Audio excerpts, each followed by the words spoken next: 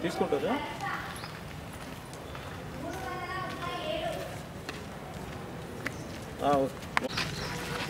అరే.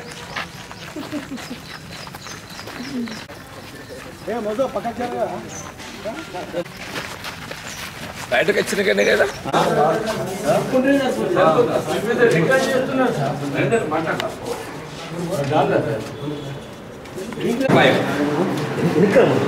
One sixty five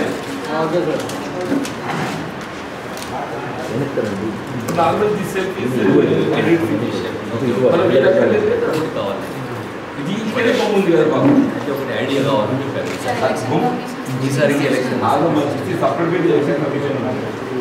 This is supplementary election commission and photo is also there on it. Photo is also there in that this supplementary election commission. Not by anybody else. I have a identity card.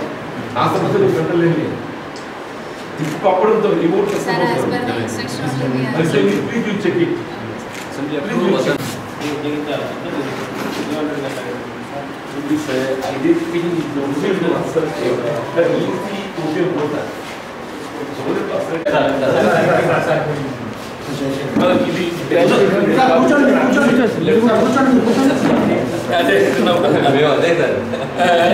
Prasanna Prasanna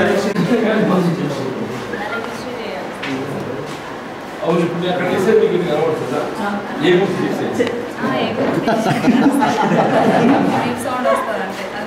ఇది గుర్తు కనబడుతుందా వివి పేడ మీద sir?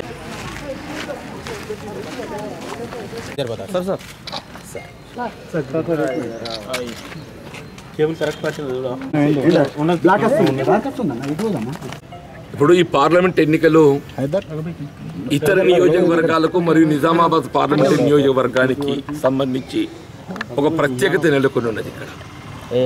ఎందుకంటే ఇక్కడ స్వయంగా ముఖ్యమంత్రి గారి కూతురు కవిత గారు మరి ఇంతవరకు పార్లమెంట్ సభ్యురాలిగా ప్రాతినిధ్యం వహించటం ప్రస్తుతం వారు పూర్తిగా నిలవడంతో గత ఐదు సంవత్సరాలుగా వారి నాన్ పర్ఫార్మెన్స్ వారి నాన్ పర్ఫార్మెన్స్తో ఇక్కడ ప్రజానీకం ముఖ్యంగా రైతాంగం ఏదైతుందో ఒక విధమైనటువంటి ఒక ఆందోళనతోని నిరసన వ్యక్తం చేయడంలో భాగంగా పెద్ద ఎత్తున నామినేషన్లు దాఖలు చేయడం ప్రత్యేకంగా రైతాంగానికి సంబంధించిన ఇవాళ ఏ మెట్పెల్లి మల్లాపూర్ బోధన్ షుగర్ ఫ్యాక్టరీలను ప్రైవేటు యాజమాన్యంలో కొనసాగుతున్నటువంటి యొక్క నిర్వహణ వంద రోజుల్లో ప్రభుత్వ పరంగా దాన్ని చేపట్టబడడం జరుగుతుందని చెప్పి పేర్కొని మళ్ళీ చివరికి దాన్ని ఏదైతుందో పూర్తిగా మూసివేయటం.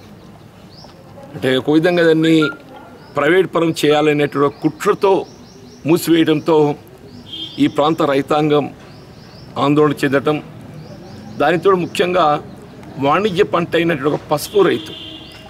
సరే ఒకటి పసుపు బోర్డు.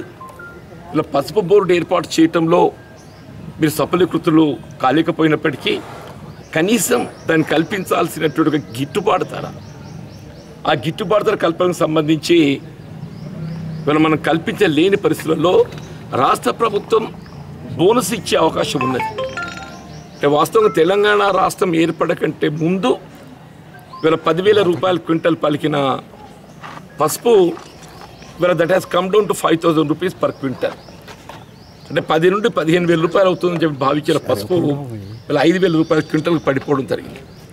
అట్లా ఈ చూడ వాళ్ళు ముఖ్యంగా రైతాంగం తెలంగాణ రాష్ట్రం ఏర్పాటుతో రుణ విముక్తులు అవుతారనేటువంటి ఒక ఏదైతే భావనుడేనో అది రుణభారం క్రమేపీ పెరిగిపోవటం వాళ్ళు ఏకమొత్తంగా రుణం మాఫీ చేయడం జరుగుతుందని చెప్పి భావించిన రుణమాఫీ అది విడతల వారీగా మాఫీ చేయటం అనేది రైతాంగానికి ఆశించినటువంటి ఒక ఫలితం పొందలేక ముఖ్యంగా నిజామాబాద్ పార్లమెంటరీ నియోజకవర్గం ఇది ఎస్ఆర్ఎస్పి ఆయకట్టు ప్రాంత పరిధిలో ఉన్నది.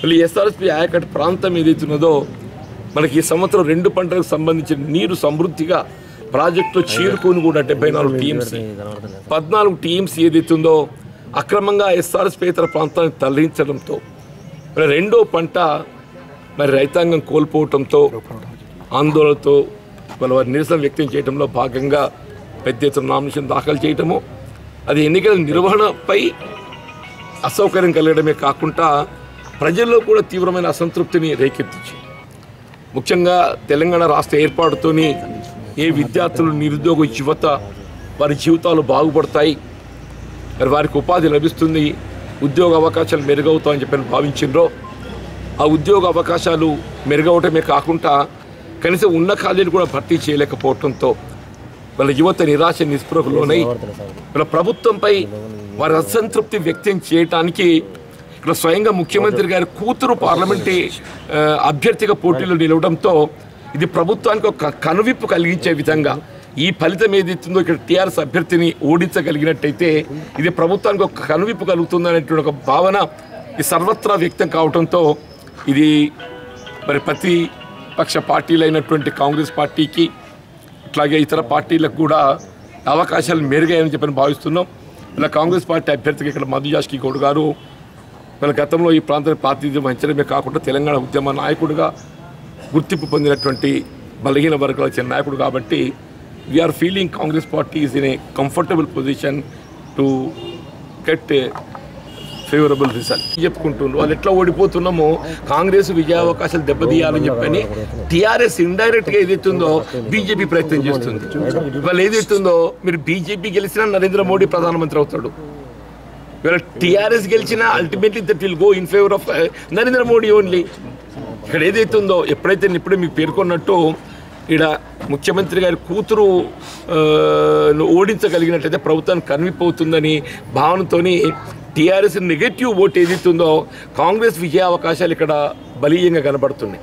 అటువంటి కాంగ్రెస్ విజయ అవకాశం దెబ్బతీయటానికి ఏ పరిస్థితుల్లో సరే వాళ్ళు గెలుగున్న మంచిది కానీ కాంగ్రెస్లో రాకుండా చూడాలని చెప్పని టీఆర్ఎస్ వాళ్ళు ఏదైతుందో వీళ్ళ భారతీయ జనతా పార్టీకి అనుకూలంగా వాళ్ళు స్పందిస్తున్నాయి చెప్పట. నేను ప్రాక్టికల్ ఎవిడెన్సే నీకు వందల సంఖ్యలో చూపెడతా. వాడు పైకేమో గులాబీ కండువ కప్పుకుంటాడు ఓటేమో పువ్వు గుర్తుకు చెప్తాడు.